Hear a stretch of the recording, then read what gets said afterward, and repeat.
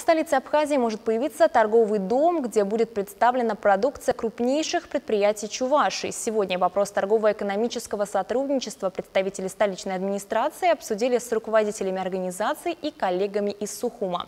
Взаимодействие будет направлено на продвижение и развитие в первую очередь электротехнического кластера. Из-за пандемии это пока одно из возможных и разрешенных направлений для сотрудничества, отметили на совещании.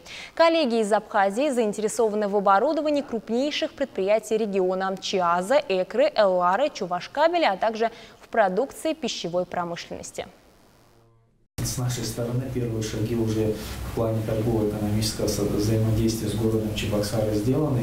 Э, мы начали с малого, мы заказали на заводе Четра два погрузчика для городского хозяйства. Вот, э, там, буквально на днях их уже должны последние дефекты устранить и уже к нам направить, поэтому мы настроены на взаимодействие. Я понимаю, может быть, это не, не самый такой да, масштабный, объемный заказ, но решили начать с малого, посмотреть, как это все работает. Дальше будем потихонечку также наращивать. Да. Наращивать, да.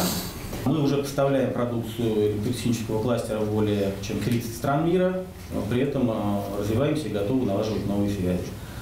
А, сотрудничество, конечно же, для нас очень ценно с вами, и мы надеемся, что реализуем много важных, значимых проектов,